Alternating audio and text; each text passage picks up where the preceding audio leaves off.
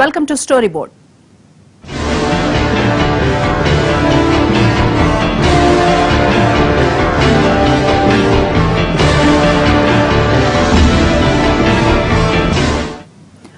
అక్కడో తెల్లోడికి జాబ్ ఇస్తే ఇక్కడో ముగ్గురి ఉద్యోగాలు ఊస్టింగ్ ఏ కంపెనీ ఏ ఎంప్లాయీకి పింక్ స్లిప్ ఇస్తుందో తెలియక టెన్షన్ టెన్షన్. ఐటీ ఉద్యోగాన్ని నమ్మి బోలెడన్ని అప్పులు సొప్పులు. ఇల్లు వాకిలి కారు బంగ్లా ఈఎంఐలు కట్టడం ఎలా? ఉన్న ఉద్యోగాలు ఊడిపోతే వేలాది మంది బతుకు దారేది. ఇది ప్రస్తుతం ఐటీ రంగంలో వినిపిస్తున్న ప్రశ్న పరంపర. ఐటీలో ఈ సంక్షోభం ఎప్పుడు ఉండేదేనా? లేక ప్రస్తుత పరిస్థితి వేరా? అసలు కారణమేంటి?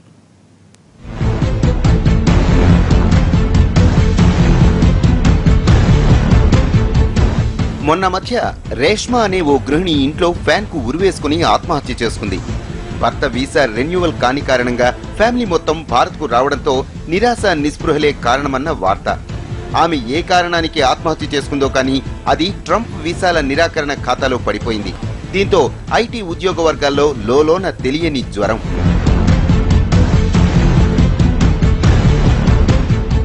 కట్ చేస్తే ఇప్పుడు కాగ్నిజెంట్ ఎంప్లాయీస్ లేబర్ కమిషన్కు వెళ్ళి కంప్లైంట్ చేయటం చూసి విస్తుపోతున్నారు అందరూ. ఆరెంకెల జీతం ఇల్లు కారు అందమైన జీవితం. ఐదు పని రోజులు రెండు వారాంతపు సెలవులు నిత్యం పబ్బులు క్లబ్లు భారీ ఎత్తున షాపింగ్లు.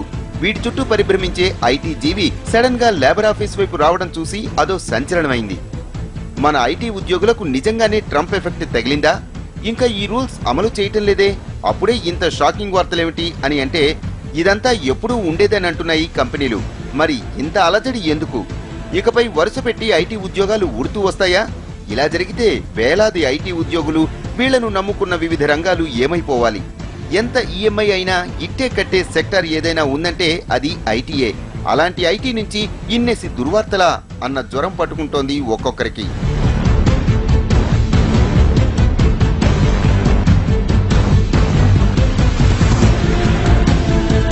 రీసెంట్గా లే ఆఫ్ ప్రకటించారు.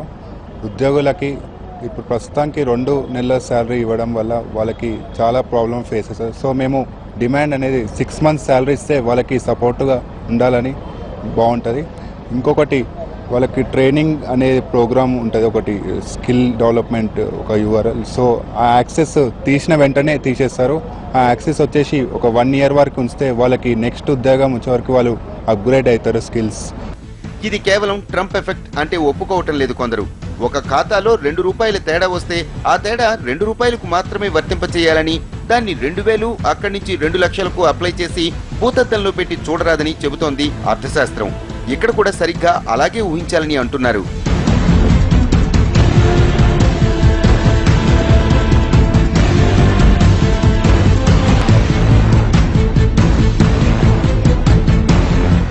అసలు ఇది ట్రంప్ హెచ్ వన్ బి వీసాలను అడ్డుపెట్టుకుని కంపెనీలు ఆడుతున్న నాటకంగా చెప్పేవాళ్ళు ఉన్నారు. అక్కడ ఇంకా ఆంక్షలు విధించనే లేదు. అప్పుడే దాని ప్రభావమా? అన్నది మరికొందరి వాదన.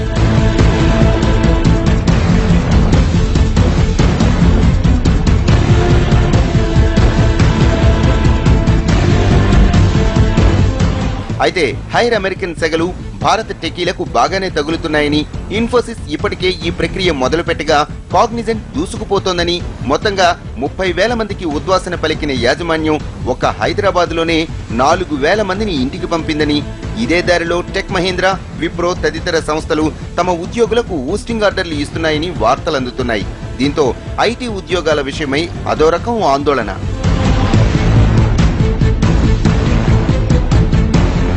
ఇవన్నీ కంపెనీల్లో జరిగేవే.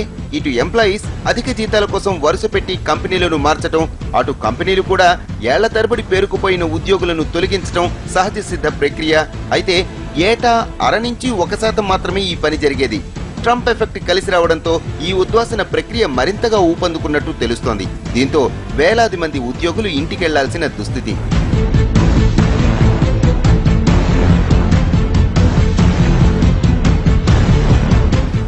ఏ కంపెనీ అయినా లాభ నష్టాలను దృష్టిలో పెట్టుకునే ఇలాంటి నిర్ణయాలను తీసుకుంటుంది. ఇదొక్క ఐటీ కంపెనీలకు మాత్రమే కాదు ఎవరైనా సరే ఇదే చేస్తూ ఉంటారు. అక్కడ ఒకరిని తీసుకోవాలంటే ఇక్కడ ముగ్గురిని వదులుకోవాల్సిన దుస్థితి. దీంతో తమకు ఇష్టం లేకున్నా సరే కొందరికి స్వస్తి చెప్పాల్సిన సిచ్యువేషన్ ఏర్పడిందంటున్నారు. ఇన్ఫోసిస్ అయితే ఏకంగా పదివేల మంది అమెరికన్లను నియమించుకోవాలనుకుంటోంది. అమెరికన్లకు ఉద్యోగాలంటే అక్కడున్న స్ట్రిక్ట్ రూల్స్ ఎంప్లాయీస్కే ఎక్కువ ఫేవర్గా ఉంటాయి. జీతాలు కూడా భారీ ఎత్తున ఇవ్వాల్సి వస్తుంది. దీంతో ఖర్చు తడిసి మోపిడవుతుంది. కాబట్టి ఇక్కడ వాళ్ళను తొలగించక తప్పదన్న మాట బలంగా వినిపిస్తోంది. అందులో భాగంగా కొందరు ఉద్యోగులను ఇంటికి సాగనంపుతోంది.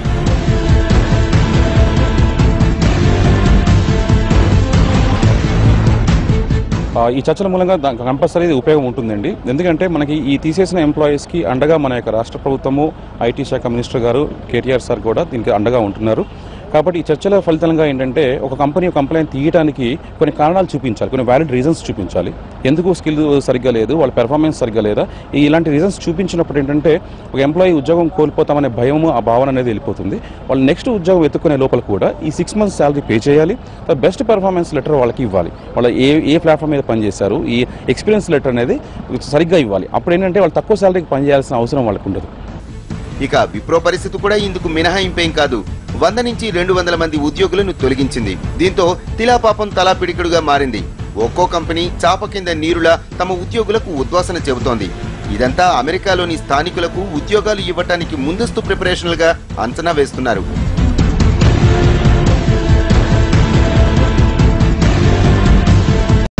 ఐటీ రంగంలో ఎనభై ఐదు తొంభై తొంభై శాతం వరకు కూడా రెవెన్యూ ఇతర దేశాల నుంచి వస్తుంది. అంటే మనమంతా కూడా ఇతర దేశాల మీద ఆధారపడుతున్నాం. ఏది అటు అందులో కొన్ని కంపెనీలకి డెబ్బై శాతం అమెరికా నుంచే వస్తుంది. ఇప్పుడు అమెరికాలో కనుక ఏ డిస్టర్బెన్స్ వచ్చినా మనకి పెద్ద ఎఫెక్ట్ వస్తుంది. అదే చైనాతో కంపేర్ చేసుకుంటే ఎనభై ఐదు శాతం రెవెన్యూ చైనా వాళ్ళకి చైనాలో నుంచే వస్తుంది. కాబట్టి అమెరికాలో ఏం జరిగినా చైనాకి నష్టం ఉండదు. కానీ మనకి ఎక్కువ నష్టం. ప్రస్తుతం ఉన్న పరిస్థితులను బట్టి చెబితే కాగ్నిజెంట్లో జాబ్ నిలబడాలంటే ఎక్స్ట్రాడినరీ టాలెంట్ అవసరం అన్నమాట. బేసిక్గా ఐటీ కంపెనీలు అంటేనే హెవీ టాలెంట్ అవసరం. ఇలాంటి కంపెనీల్లో జాబ్ అంటే అది మరింత ఎక్కువగా ఉండాలి. ఇప్పుడున్న పరిస్థితుల్లో హండ్రెడ్కి టూ హండ్రెడ్ పర్సెంట్ స్టఫ్ ఉంటే కానీ నెగ్గుకు రావటం సాధ్యం కాదు.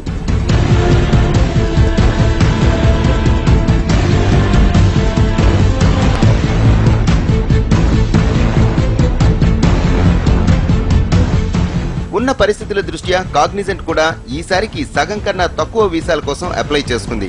భవిష్యత్తులో ఇది మరింత తగ్గే అవకాశం కనిపిస్తోంది. దీంతో కొన్ని కుటుంబాల భవిష్యత్ ప్రశ్నార్థకంగా మారింది. ఇన్నాళ్ళు ఏదోలా మేనేజ్ చేస్తూ జాబ్ను నిలుపుకోవటం ఇకపై కత్తి మీద సాముగా మారింది.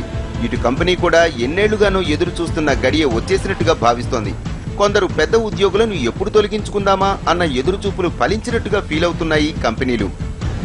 ఒక కంపెనీలో తక్కువ జీతగాళ్ళు ఎక్కువ మంది ఎక్కువ జీతగాళ్ళు తక్కువగాను పనిచేసుకుంటూ రావటం ఒక పద్ధతి. మూడు నుంచి ఐదేళ్ళ సమయానికల్లా తక్కువ జీతగాళ్ళకు కూడా జీతాలు పెరిగి అందరూ కలిసి ఎక్కువ జీతగాళ్ళుగా తయారవుతూ ఉంటారు. దీంతో ఒక పద్ధతి ప్రకారం ఉండే వర్క్ పీరియడ్ కాస్త తీవ్రంగా దెబ్బతింటుంది. అందరూ దాదాపు సమాన హోదా సమాన జీతభత్యాలను పొందడం కనిపిస్తుంది. దీంతో పనిచేసే వాళ్ళు తక్కువ వివిధ హోదాల్లో ఉండి జీతాలు తీసుకునే వాళ్ళు ఎక్కువగాను మారిపోతారు. ఒక రకంగా చెప్పాలంటే వర్క్ ఆర్డర్ ఫ్లాట్గా మారిపోతుంది. ఎప్పుడైతే ఇలా తయారవుతుందో కంపెనీకి తీవ్రమైన పని నష్టం కలుగుతుంది. అయిన దానికి కాని దానికి ప్రోటోకాల్ సమస్యలు. జరగాల్సిన పని నిదానంగా జరగడంతో కంపెనీ ఒడిదుడుకులకు లోనవుతుంది. ఈ పరిస్థితుల్లో కంపెనీలకు ట్రంప్ వీసాల ఇష్యూ వరంలా కనిపించింది. ట్రంప్ చెప్పినా చెప్పకపోయినా కాగ్నిజెంట్ లాంటి కంపెనీల ఆలోచన కూడా ఇదే. స్కిల్డ్ లేబర్ని మాత్రమే ఉంచుకోవటం మిగిలిన వాళ్ళని పొమ్మని చెప్పటం తొలి నుంచి ఉన్న అలవాటే. ఎప్పుడెప్పుడు ఉద్యోగులను మారుద్దామా అని ఎదురు చూస్తున్న కంపెనీకి ఇదో అవకాశంగా మారింది. దొరికిందే సందుగా భారీ జీతగాళ్ళను సాగనంపడానికి ఇదో బెటర్ చాయిస్గా భావిస్తున్నట్టు సమాచారం. దీనికి పెట్టిన మారుపేరే అక్కడ ఉద్యోగులను భర్తీ చేసుకోవడానికి ఇక్కడ తొలగిస్తున్నామనే కారణం.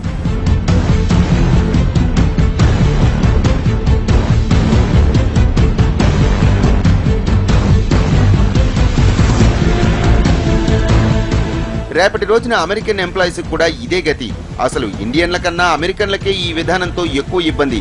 వచ్చే రోజుల్లో భారతీయులకు వర్తించిన నియమాలే మీకు వర్తిస్తాయని కంపెనీలు తెగేసి చెప్పడానికి కావలసినంత అవకాశాలున్నాయి.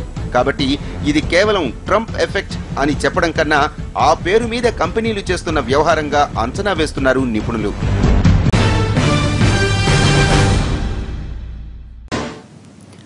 ఐటీ ఎంప్లాయ్ అంటేనే ఆ లైఫ్ కలర్ఫుల్. కాస్ట్లీ లైఫ్ వీళ్ళ చుట్టూ వైఫైలా తిరుగుతూ కనిపిస్తోంది. గ్లామర్ వరల్డ్ తర్వాత అంతటి భోగ భాగ్యాలను అనుభవించే వాళ్ళు ఎవరైనా ఉన్నారంటే అది ఐటీ ఎంప్లాయీసే. కానీ ఇప్పుడున్న పరిస్థితి ఇలా ఉందా? ఐటీ రంగం పరిస్థితి ఎలా ఉంది? ఐటీ ఎంప్లాయీస్ లైఫ్ స్టైల్ ఎలా మారనుంది?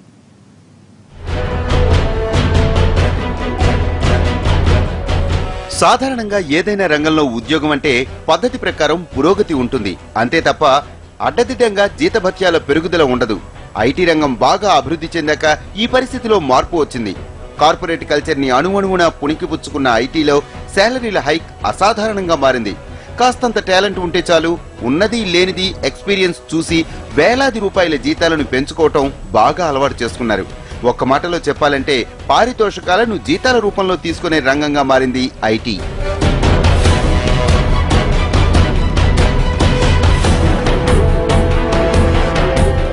వేలాది రూపాయల జీతం దెబ్బకు కార్ల నుంచి ఇళ్ళ వరకు అప్పులు చేయటం వాటి ఈఎంఐలను కట్టుకుంటూ రావటం అన్నది ఐటీ ఎంప్లాయీస్ నిత్యకృత్యంగా మారింది. ఇది చాలదన్నట్టు లేనిపోని అలవాట్లు వీకంతా వర్క్ వీకెండ్లో ఎంజాయ్మెంట్ అనే అమెరికన్ పాలసీని తాము కూడా అడాప్ట్ చేసుకుని విపరీతమైన ఖర్చులు. అసలు ఐటీ ఎంప్లాయీస్ అంటే ఈ అవలక్షణాలన్నీ ఉండాల్సిందే అన్న పరిస్థితికి వచ్చేశారు. మెయింటెనెన్స్ భారీగా పెరిగి జాబ్ ఒక లబ్డబ్గా మారిపోయింది.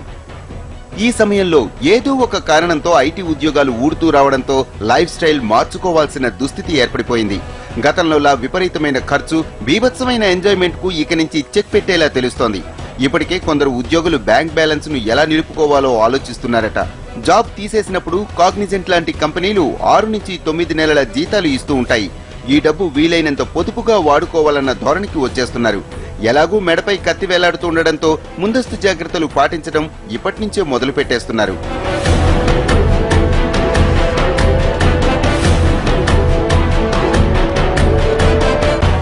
కొంతమందిని తగ్గిస్తున్నాయి. రెండు కారణాలు ఉన్నాయి. ఒకటి అమెరికాలో ట్రంప్ గారి యొక్క నిర్ణయం ఇమీడియట్ కారణం. కానీ లాంగ్ టర్మ్గా ఈ ఐటీలో సాఫ్ట్వేర్ యొక్క ఎఫిషియన్సీ ఇంప్రూవ్ అయిపోయింది. చేయవలసిన పనిని అది వరకు పది మంది చేస్తే ఇప్పుడు ఆరు చేస్తే చాలు ఆరుగురు చేస్తే చాలు. అందుకని ఇది ఇది ఎందుకు వచ్చిందంటే ఆర్టిఫిషియల్ ఇంటెలిజెన్స్ రోబోటిక్స్ ఈ రెండు కూడా సాఫ్ట్వేర్ యొక్క ఎఫిషియన్సీని ఇంప్రూవ్ చేసినాయి.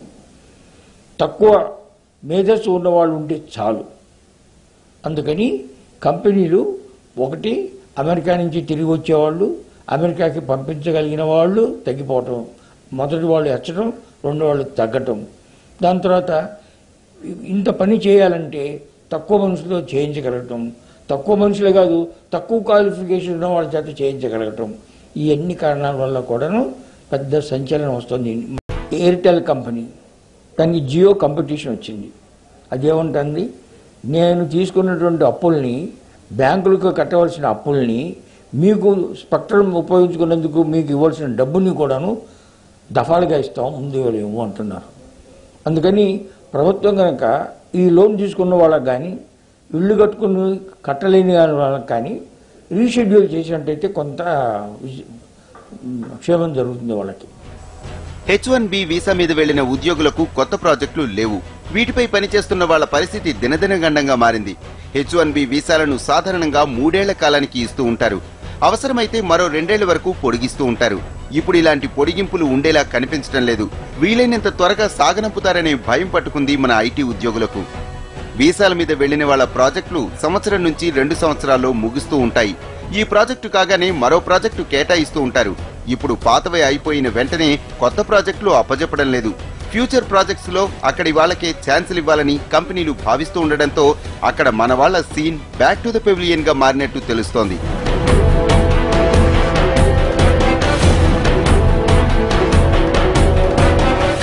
టెక్నికల్ కోర్సెస్ చదవడానికి ఎంబీఏ చేయడానికి లేకపోతే మాస్టర్ చేయడానికి వెళ్తుంటారు. కానీ మళ్ళీ తర్వాత వారు ఇండియాకు వచ్చి వేరే వాళ్ళకున్న బిజినెస్ కానివ్వండి వాళ్ళకున్న సెటప్స్లో సెట్ అయిపోతుంటారు.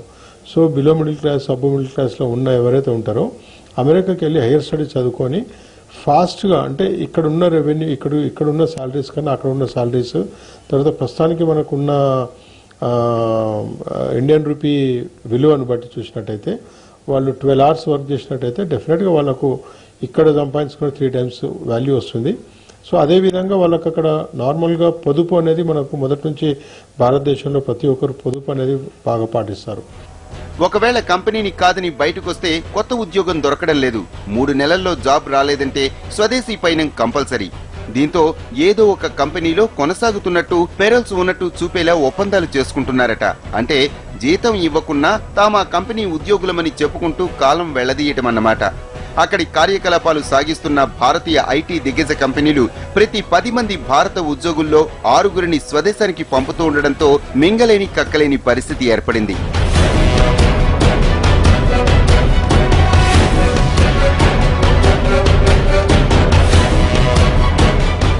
ఇదంతా సహజంగా ఉండేదే. ఇందుకు ట్రంప్ ఎఫెక్ట్ కాస్త తోడైంది. అంతే మన వాళ్ళు ఇంటర్మీడియట్ అయిన వెంటనే ఐటీ ప్రొఫెషనల్ కావాలని కలలుగనడమే కొంప ముంచుతోంది. పేరెంట్స్ కూడా తమ పిల్లలు సాఫ్ట్వేర్ జాబ్ మాత్రమే చేయాలని అమెరికా వెళ్ళాలని అక్కడ వేలల్లో డాలర్లు సంపాదించి లక్షల్లో ఇళ్ళకు పంపాలని ఓ కొత్త రూల్ ఫిక్స్ చేసుకున్నారు. దీంతో ప్రతి విద్యార్థి కళ సాఫ్ట్వేర్ ఇంజనీరింగ్. అలా కంప్యూటర్ ఇంజనీర్లు కుప్పలు తప్పలుగా మారడం వల్లే ఇప్పుడు ఈ సంక్షోభం. తమకు అబ్బాయి పుడితే సాఫ్ట్వేర్ ఇంజనీర్ని చేయటం అమ్మాయి పుడితే విధిగా సాఫ్ట్వేర్ ఇంజనీర్కే ఇచ్చి పెళ్ళి చేయడంతో కొంపలు మునిగిపోతున్నాయి. ఇందులో పిల్లల కన్నా తల్లిదండ్రులు చేస్తున్న తప్పిదమే ఎక్కువగా అంచనా వేస్తున్నారు సామాజికవేత్తలు.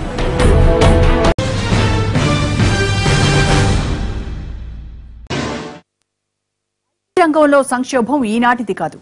అసలు ఒకనాటి ఐటీ వేరు ఇప్పటి ఐటీ వేరు. ఐటీలో జాబ్ సెక్యూరిటీ ఎప్పుడో పోయింది. కొత్త జనరేషన్ కూడా ఐటీ డ్రీమ్స్ మానుకుని కొత్త అడుగులు వేసేలా కనిపిస్తోంది. స్టార్టప్ ఏజ్లో సాఫ్ట్వేర్ జాబ్స్ పిచ్చ లైట్ అనే వాళ్ళు చేస్తున్నారు. కాబట్టి ఇదో గుడ్ సైన్ అంటారు కొందరు. ఆ వాదనలేంటో లెట్స్ వాచ్.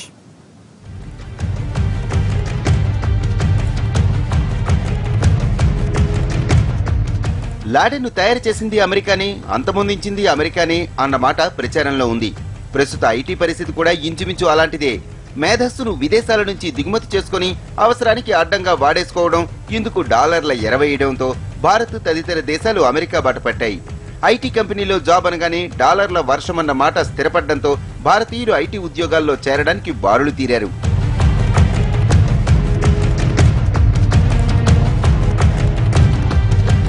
రైల్వేస్ నుంచి స్పేస్ వరకు మెడిసిన్ నుంచి ఆటో రంగం వరకు ఐటీ ఎంతగా విస్తరించాలో అంతగా విస్తరించేసింది. ఇక మిగిలింది కొనసాగింపు మాత్రమే. మహా మాట్లాడితే దాన్ని అప్డేట్ చేయడం ఒక్కటే ఉంది అక్కడ. ఈ పరిస్థితి ఇప్పటిది కాదు ఎప్పటి నుంచో ఉంది. ఒక దశలో ఏ సాఫ్ట్వేర్ ప్రోగ్రాం లేకపోవడంతో ఆధార్ని వెలుగులోనికి తెచ్చారన్న మాట వినిపించింది. అంతగా ఐటీ సేవలు సాచ్యురేట్ అయ్యాయి. దానికి తోడు సత్యం తదితర కంపెనీల అవకతవకలతో ఐటీ బుడగ ఒక్కసారిగా పేలినట్టయింది. ఐటీ చుట్టూ అల్లుకున్న మాయ పొరలు తొలగినట్టయింది.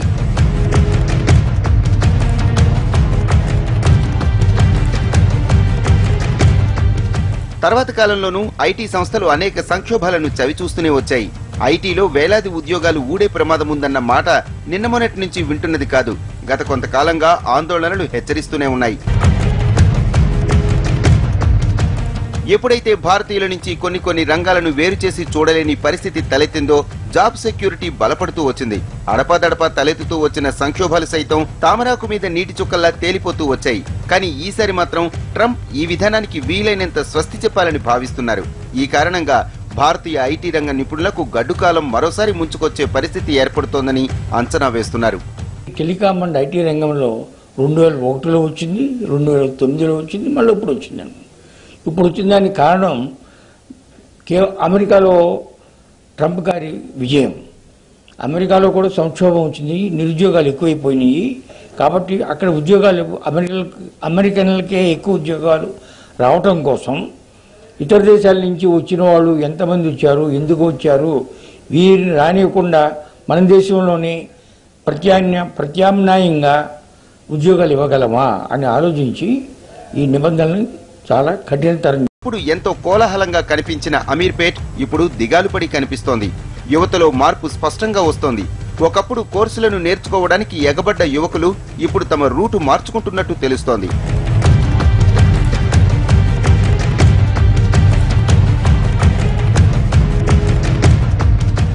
ఇంజనీరింగ్ పూర్తి కాగానే ఐటీ కోర్సుల్లో చేరడానికి పెద్దగా ఇంట్రెస్ట్ చూపడం లేదు. ప్రత్యామ్నాయ కోర్సుల మీద దృష్టి సారిస్తున్నారు. Java dot net testing tools SAFF ఈ పేర్లు గతంలో గ్రామాల్లోనూ మారుమోగేవి. ఇలాంటి కోర్సుల్లో చేరే వాళ్ళ సంఖ్య క్రమంగా తగ్గుతూ వస్తోంది. నెలకు వందల సంఖ్యలో కోర్సుల్లో చేరే వాళ్ళ సంఖ్య కాస్త పదులకు పడిపోయింది. ఎప్పుడో వచ్చే ఐటీ జాబ్ కన్నా ఇమీడియట్గా ఏ ఉద్యోగం దొరికితే దాంతో అడ్జస్ట్ అవుదామనే నిర్ణయానికి వచ్చేస్తున్నారు. సాఫ్ట్వేరే కాకుండా ఇంకా వేరే జాబ్స్ లేవంటే చాలా ఉంటాయి.